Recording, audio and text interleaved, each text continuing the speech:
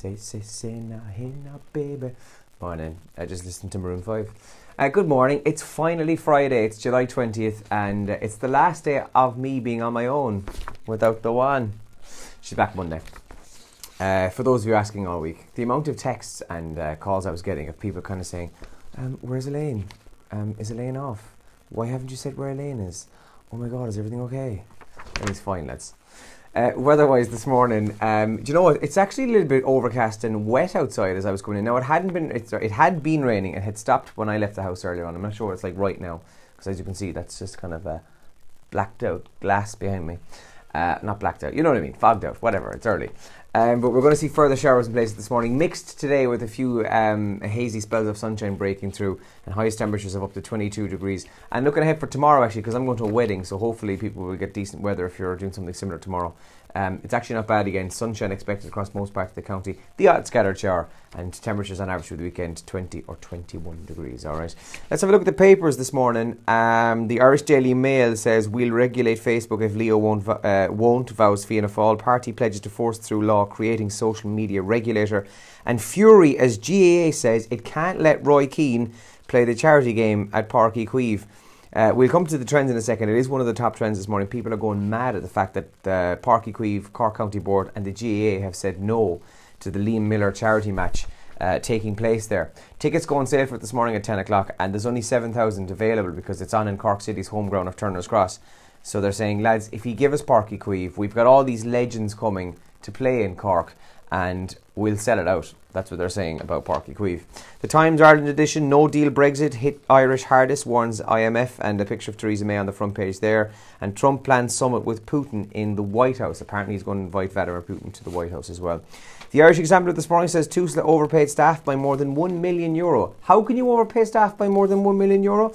Well, you'll find out in the Examiner this morning. 2017 report highlights the shortcomings in oversight as one child is referred to the agency every 10 minutes.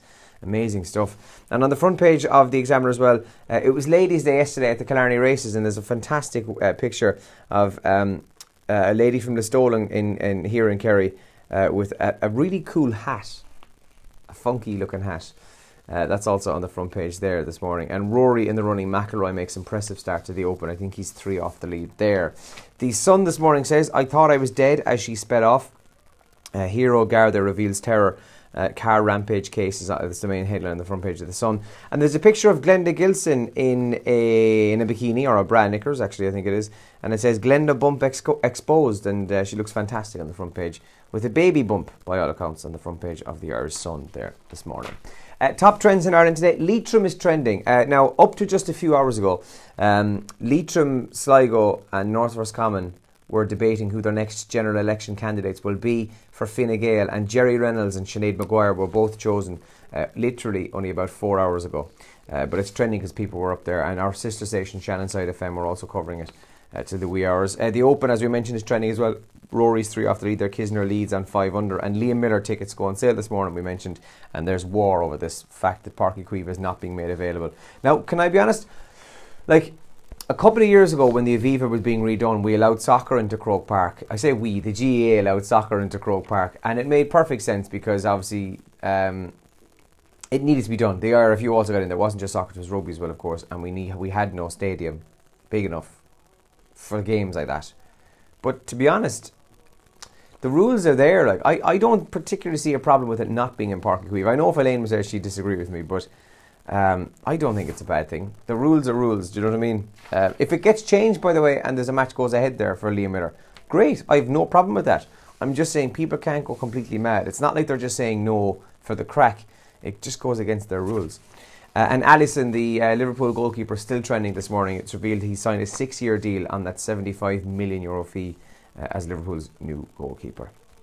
Uh, now let's talk about computer viruses for a second.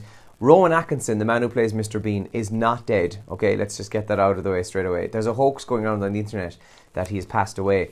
And uh, especially on Twitter, you might see a little window with a play button to click on it. It's um, it's a fake news report, except it's not even a report. When you click the little play button, it looks like it's a video.